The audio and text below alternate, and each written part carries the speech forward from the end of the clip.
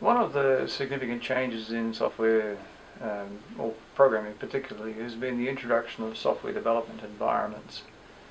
Now these um, are uh, particularly, these are environments that are available to any programmer now with a, with a PC.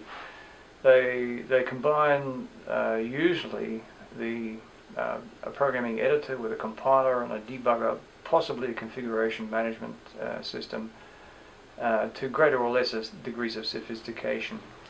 So we'll have a look at these. Um, no, I've just given you a definition, but uh, we'll have a look at their contribution to uh, quality and, and um, briefly have a look at a couple of examples of them.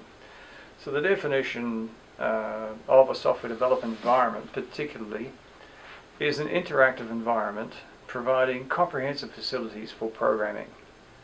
Now as I said this is normally um, some variety of um, navigation pane so you can see the directory uh, of um, either files or when you open up the files the, the class structure within the, the piece that you're working on there's always an editor where you can edit um, these things of, of frequently a very, very great sophistication.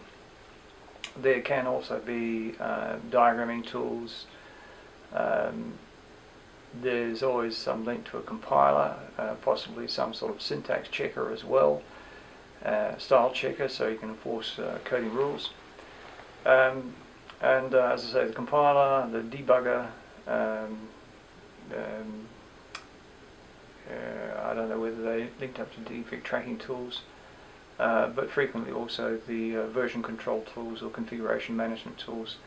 So the, the, the, programmer gets this whole environment where they can do it, all these, these things uh, largely automatically, which is a really good idea.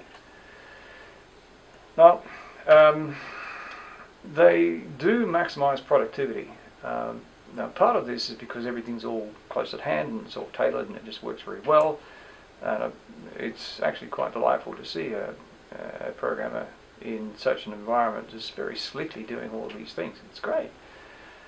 Um, so the, the productivity comes partly out of having everything at hand, but also uh, quite significantly because it reduces the time between cutting the code, this, this encoding something, and trying it out and uh, seeing if it works. And if it doesn't work, it's it's right there in your mind at the time, and you can fix it very quickly. Uh, that shortened feedback cycle contributes to productivity immensely.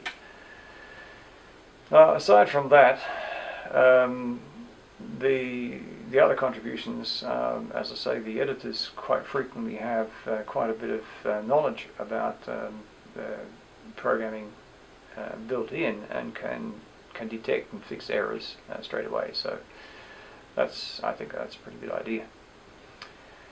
Now, uh, some examples of uh, software development environment. There's, there's, two examples. The first one uh, is the Eclipse um, software development environment. I've just taken a, a, a screenshot from the Eclipse uh, SDE. This particular screenshot shows the navigation pane over there on the left um, the properties pane also down on the lower left. There is an, um, uh, an editor pane um, that shows what the actual code is, and this is the thing, this is some part that you might change. There's a, a class diagram. Uh, we can, um, I presume, you, you can uh, introduce classes to make connections between classes. And there's um, a pane there to uh, show you all the methods within a specific class. So you have uh, quite a lot of information there at your disposal.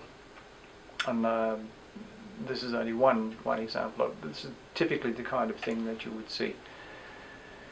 The next one uh, that I picked on quite arbitrarily is Visual Studio.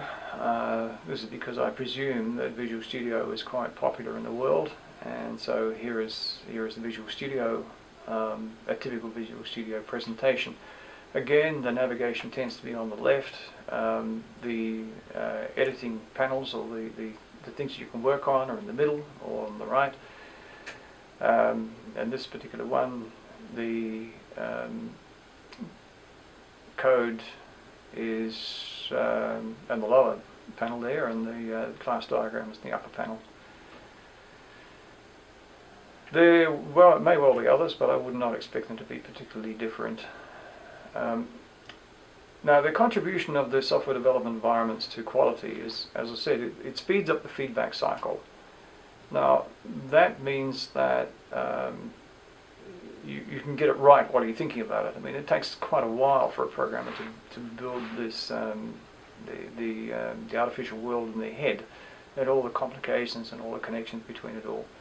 So if they can work on that while they've got it in their mind and get it right, that's a great thing.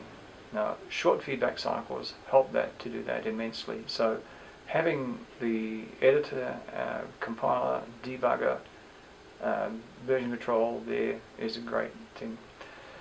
The other thing that they do is to take care of all the mundane details, for example, uh, configuration management. If that's automatic, then the programmer doesn't have to think about it and they can get it they can get right. They're working on the latest version of uh, the various files and there's just no question about it. So that's, that's a great idea.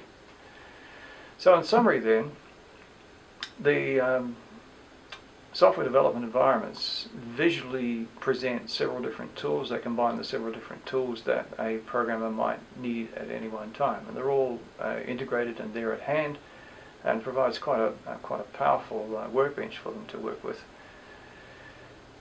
They do uh, speed up the feedback cycle, give the immediate feedback cycle, and uh, as well as that, um, give suggestions for very good practice. So overall, these software development environments are um, quite a contribution to quality.